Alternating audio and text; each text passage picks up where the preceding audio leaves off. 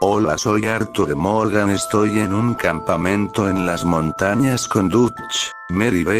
Tilly, Charles, Sadie, y John, es increíble que todo esto haya pasado por algo que se consideraba un mito, pero que lastimosamente resultó ser realidad les contaré lo que sucedió.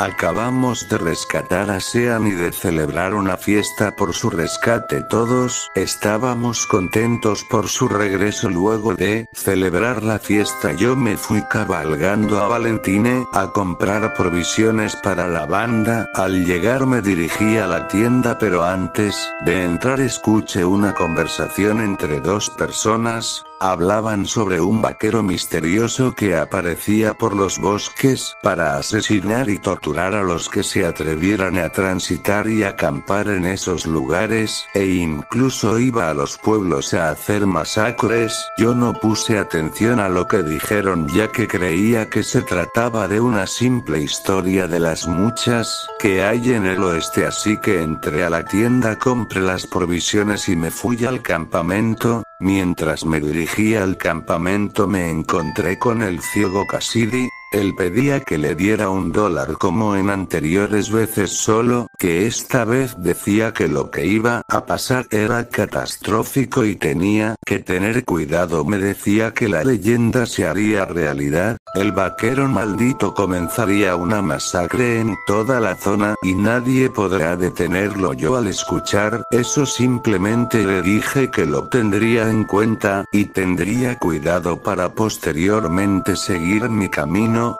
antes de irme el ciego Cassidy me dijo espero que pueda salvarse señor, yo obviamente no le creía nada de lo que decía y esto mucho menos, al llegar al campamento entregué las provisiones y solo como anécdota le conté a Dutch sobre lo que había escuchado en el pueblo y del viejo Cassidy, él me dijo que también había escuchado las historias sobre ese vaquero maldito, pero que nunca logró verlo o toparse con él por lo que consideraba que solo era una historia inventada por algún loco que quería asustar a la gente y agregó que no tenían de qué preocuparse yo estaba de acuerdo con lo que me dijo Dutch así que luego de hablar me puse a ayudar en las tareas del campamento. Ya era de noche así que todos nos fuimos a dormir menos los que vigilaban, yo estaba a punto de dormir cuando escucho un grito.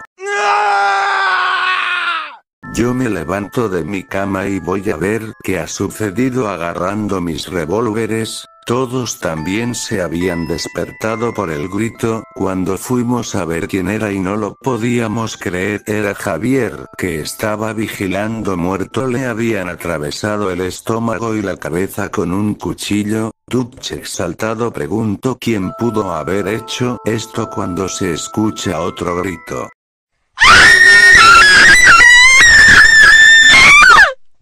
Cuando fuimos a ver quién era vimos, que era Molly. Estaba con varias apuñaladas en su cuerpo, Dutch se puso un poco triste por eso debido a que aún la amaba. Yo sabía que el asesino estaba en el campamento así que fuimos a investigar en cada rincón del campamento para encontrar al asesino. Sin embargo no encontramos a nadie pero notamos que Abigail y Jack no estaban, yo temía que el asesino se los había llevado, John por primera vez se sintió preocupado por Abigail y ya que en ese momento apareció una línea de fuego y una silueta atrás de ella al acercarse notamos que ese sujeto tenía a Abigail y ya que en cada mano arrastrándolos y también notamos la apariencia de ese sujeto tenía los ojos oscuros, su piel era gris, tenía un paliacate y un sombrero en mala condición, al verlo supe que se trataba del vaquero maldito que se contaba,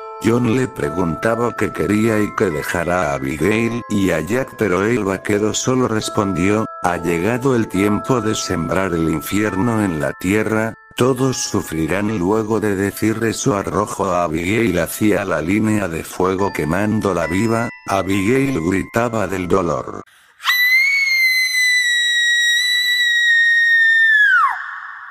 Ya que empezó a llorar por su mamá. Todos gritamos y intentamos ayudar a Abigail, pero ya estaba muerta entonces el vaquero de dispuso a también arrojar a Jack a la línea de fuego, John desesperado le disparó al vaquero, pero a este no le afectaban los disparos a lo que él dijo, no te preocupes Jare que el niño vaya con su madre y tú también pronto te reunirás con ellos, pero en eso,